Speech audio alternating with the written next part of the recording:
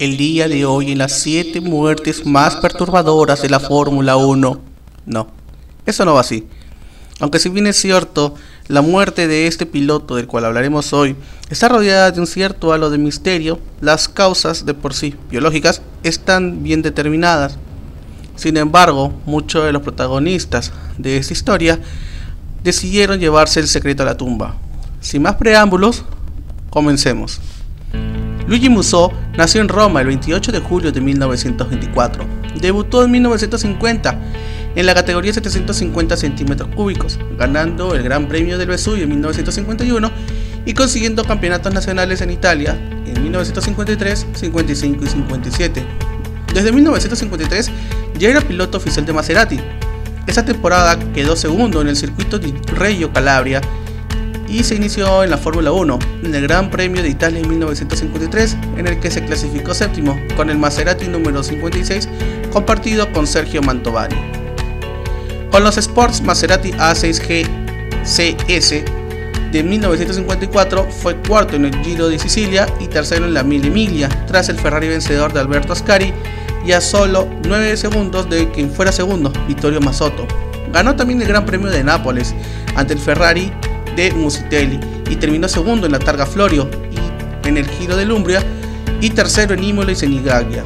En agosto venció en el circuito de Pescara, prueba de Fórmula no puntuable para el Campeonato del Mundo de FIA, ante el Príncipe Vira, Harry Schell, Jorge Daponte, Jean Vira, Clemar Bucci, y en octubre fue segundo en el Gran Premio de España de 1954 con el Maserati 250F número 14 sobre el rápido circuito de Pedralbes entrando a algo más de un minuto del Ferrari 553 de Hawthorne. Con este único resultado en el Campeonato del Mundo de Pilotos de Fórmula 1, FIA quedó séptimo, igualado con Roberto Mieres y Giuseppe Farina. Para 1955 seguiría con Maserati, tras entrar séptimo en el Grand Prix de la República Argentina de 1955 con el Maserati 250F, se anotó el Gran Premio de la Supercorte Maggiore, compartido en Maserati con Gian Vira. En Fórmula 1 con el Maserati fue séptimo en Spa, tercero en Salzburg, quinto en Italy y al final octavo en el Mundial, empatando con Gian Vira, después de lo cual fue fichado por el mismísimo Enzo Ferrari para 1956.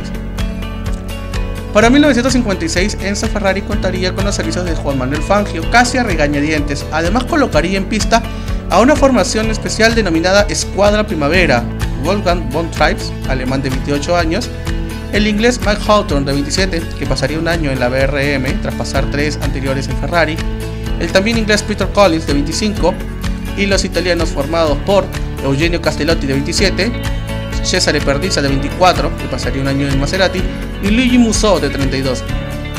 Sin embargo, la armonía entre la escuadra iba a rebajarse muy pronto, la temporada comenzaría de muy buena manera para Luigi en el Gran Premio de Argentina.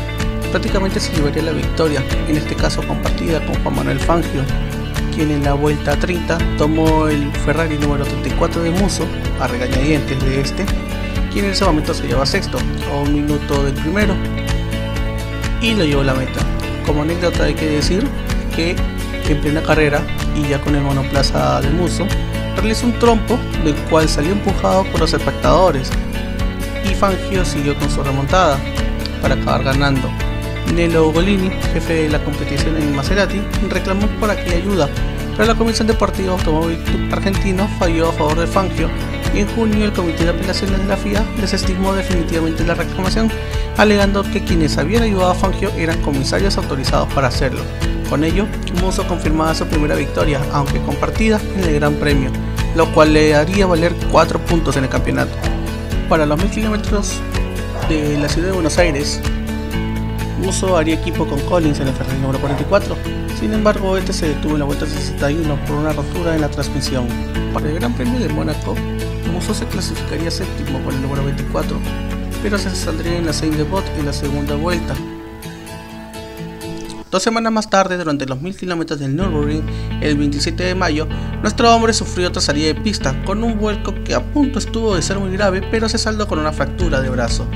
Ya repuesto, pudo disputar el Gran Premio de Alemania sobre el mismo decorado, el Nürburgring. Como sabemos, en aquella época el reglamento permitía cambiar de auto dentro de la misma escudería o de la misma marca, y Musso fue obligado a ceder su Lancia Ferrari número 4 a Castellotti, que se había averiado por el encendido. Pero con el número 4 de Musso se accidentó en la vuelta 13, eso causó que entre Castellotti y Musso saltaran algunas chispas de rivalidad. En el Gran Premio de Italia de 1956, el 2 de septiembre en Monza, a Fangio le bastaba para terminar la carrera en los puntos para obtener su cuarto título mundial, por lo que planeó pactar una tregua con sus compañeros Musso y Castellotti. Sabedor de que los Engelbert de los Lance Ferrari daban peor juego de que los Pirelli en los Maserati rivales, Fangio le propuso marcar el ritmo durante la carrera, que harían los tres agrupados en cabeza, dejando libertad de acción en la última vuelta. Pero los dos pilotos italianos querían brillar ante su público y partieron como cohetes, con el resultado de que en la quinta vuelta tuvieron que entrar para reponer las ruedas traseras. El otro piloto que optaba por el título no era sino también piloto de Ferrari Peter Collins.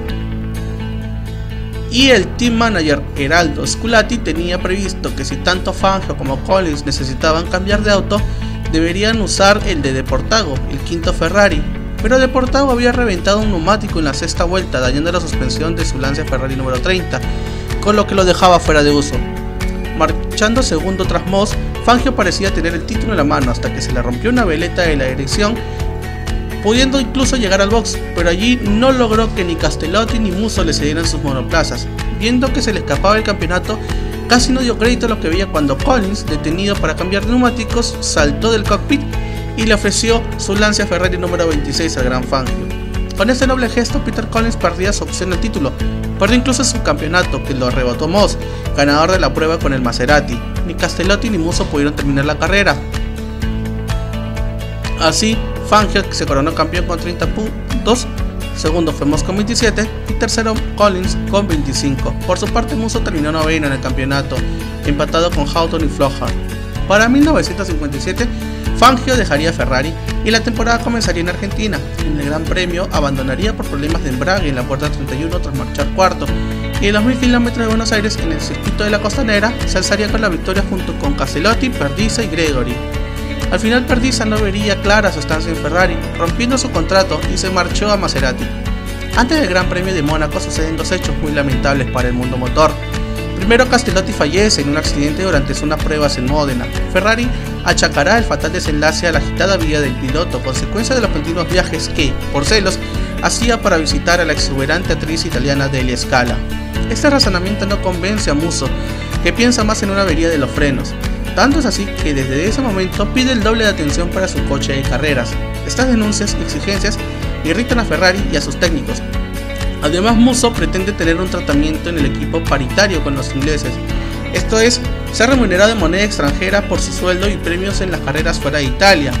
El segundo hecho que sucedió fue que Musso contrajo un agresivo virus durante su estancia en Siracusa, lo que le impidió participar en la Mille Emilia. Alfonso de Portago se subiría entonces al coche que debía pilotar el romano. Sin embargo, sufrió un reventón que acabaría en tragedia.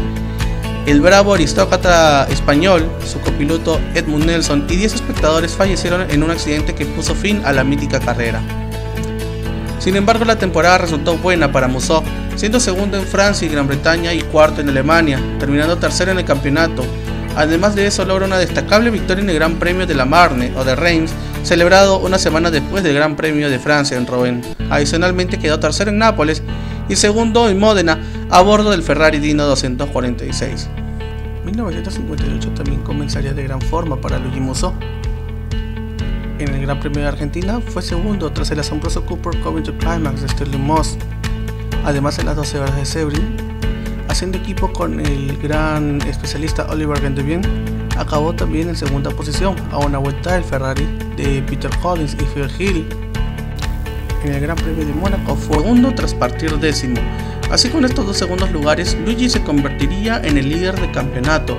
Luego consiguió Luigi otra victoria en el Gran Premio de Siracusa, parecía estar en el punto máximo de su carrera, pero en Sandburg es séptimo, mientras que en Bélgica, saliendo desde la primera fila de parrilla, sufre un terrible accidente en la sexta vuelta cuando revienta uno de los Engelberg de su Ferrari circulando a 280 km por hora, pero a pesar de topar con dos postes, salió ileso.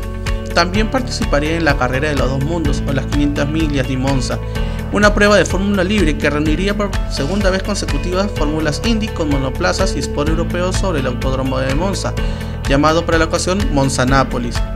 Por insistencia de su teammate Hawthorne, Musso utilizaría por primera vez un arnés de retención, así como un segundo barcovejo, en previsión de lo que se le volara el casco a 300 km por hora. El que admitiera adoptar esas precauciones suplementarias sugiere que Luigi Musso no era un kamikaze fatalista como algunos opinaron tras su muerte. En carrera el elevado parabrisas establecido para proteger el rostro del piloto de aire en la marcha a altas velocidades resultó mucho mayor que el de los otros autos, y provocó que Musso se variara al no ventilarse muy bien, desfalleciendo un par de veces. Junto a Hawthorne y Phil fueron sexto en la primera manga, noveno en la segunda y tercero en la tercera manga. Así llegamos al 6 de julio de 1958, al circuito de Reims en Francia. Sexta prueba del Campeonato Mundial de Grandes Premios, el Ecuador de esa temporada. Luigi llegaba a 5 puntos de Moss, quien era líder, y a 2 de Hawthorne, su compañero de equipo, sabiendo que temía terminar primero para poder afrontar la segunda parte de la temporada en una buena posición. En la clasificación le fue bien, a 7 décimos de Mike y 100 segundos en la parrilla. Sin embargo, en la partida le fue mal y cayó al tercer puesto. Cuando lo recuperó, estaba a 10 segundos de Mike. Enzo Ferrari declaró que Fangio había informado a Musso que podía ganar medio segundo tomando la curva del Calvario a fondo. Sin embargo, en 1958 los Dinos de 246 eran 40 caballos de fuerza más potentes y eso le obligaba a levantar un poco el pie. Sin embargo, poco a poco le fue descontando, hasta que en la vuelta 9, a 20 metros de Mike, el Ferrari a 260 km por hora o más salió muy largo, derrapando las cuatro ruedas y cayó en el cunetón del arcén. Saltó y se estrelló contra un terreno donde volvió a brincar, expulsando al piloto. Musso fue trasladado al hospital de Reims y allí se le diagnosticó fractura de cráneo y de columna vertebral, así como estallido del hígado, con lo que falleció a las pocas horas cuando llegaba la noche. Son muy pocos los testimonios oculares que han podido aportar claridad a la mecánica del accidente. Según se dice, un gendarme contó más tarde un periódico local, yo estaba allí, en la Calvario, he visto a uno a la estela del otro. No se han tocado, pero el primero ha alargado la trayectoria y el otro casi impacta con él. Los rumores sobre la dinámica del incidente no han cesado nunca.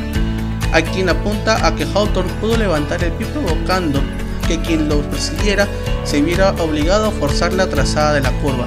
Como sentencia en las palabras del propio Enzo Ferrari, la verdad de las causas del mortal accidente nunca se sabrán.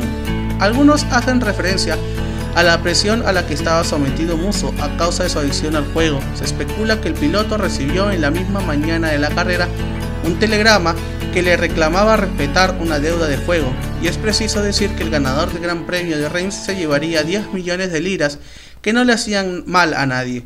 Otros comentarios añaden también que Fiamma Bresci, enfurecida, llegó a asegurar a sus amigos más cercanos, no sé si todas estas historias son verdad, la mecánica del accidente y aquella historia en la plaza.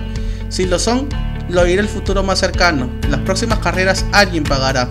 Si son reales o no esas palabras, nadie lo sabrá ya que Bresci falleció en el 2015. Pero de igual manera debemos recordar que los otros protagonistas de la historia, Musso, Collins y Hawthorne perderían la vida en los próximos meses, dándole un trágico final a la escuadra primavera.